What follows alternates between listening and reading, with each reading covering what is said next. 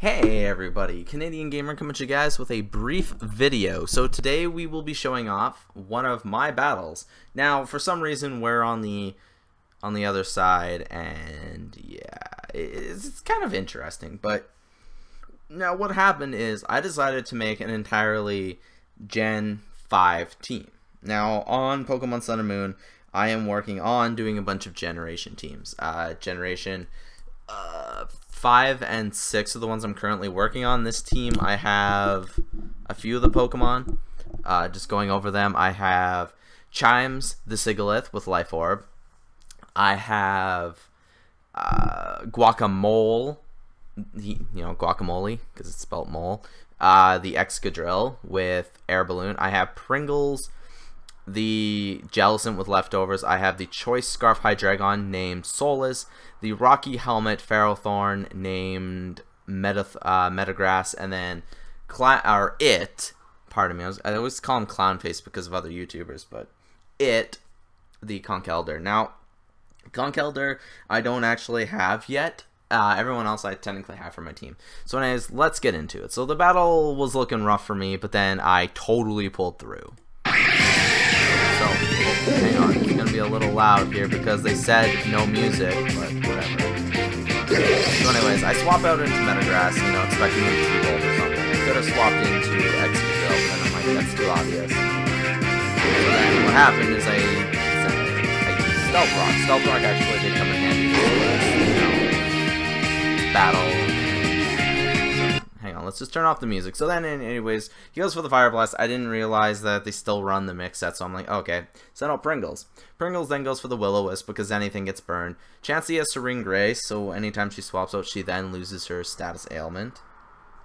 Which is, which is okay, I guess. So then I swap out into it because I'm like, well, guess what? You're you're a normal type. Well, then I'm like, okay, poison isn't the worst thing in the world. I do get the guts boost since I am a flame orb. Natural Cure activated, it leaves, it sends out Celesteela. I go for the knockoff to then knock off the Celesteela's leftovers, which is a great play. This is where it kind of got rough for me, and I thought I was going to lose. because then he Leech Seeds, and then I go for a Drain Punch, but the Drain Punch doesn't quite kill, and then he is able to sap some uh, life back from the Leech Seed.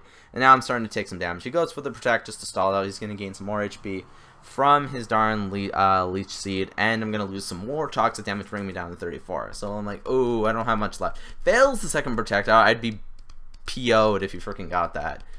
I hate double Protect scum. And so, okay, I'm like, oh god, I'm down to like 20, 20%. All I can do this Garchomp is literally go for the Mach Punch. There's no reason to save it. I guess there's like Chansey, but then I'm like, I still have Excadrill, which is a physical attacker. So then I'm like, okay, send out Chimes he swaps out into Tapu Koko, and I'm like, okay, he's at 78%. I'm Life Orb. Let's see how much a straight up Psychic does. Oko's the Tapu Koko, and I'm like, holy shite. That did amazing. I'm like, Greninja, okay. He's going to go for the Ice Beam, though I don't really have a safe swap in, so I'm going to go to Soulless.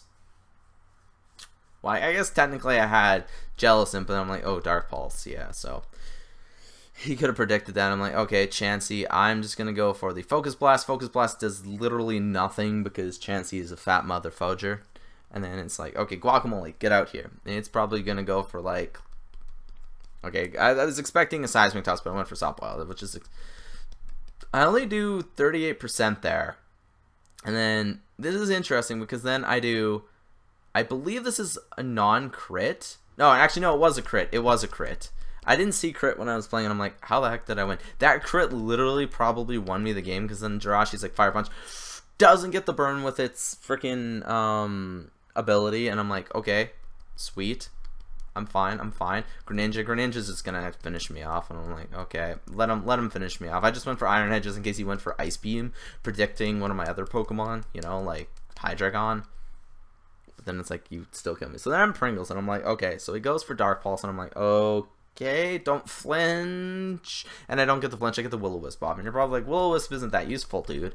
Why did you use that? Well, and then I'm like, okay, I can just stall it out, stall out some damage with recovery as long as I don't get flinch.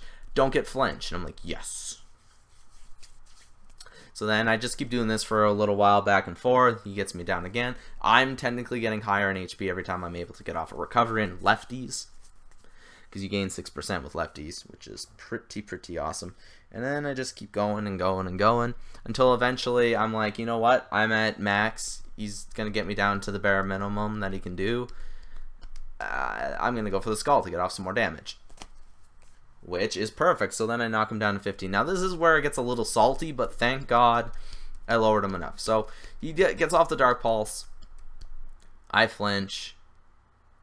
Uh, then I heal up. He gets hurt by the burn, but since burn is so bad in this generation, doesn't finish him off.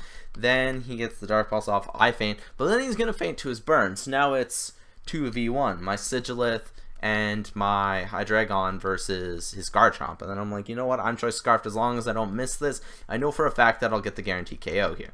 And I do get the guarantee KO by taking down the Garchomp with my freaking Draco Meteor.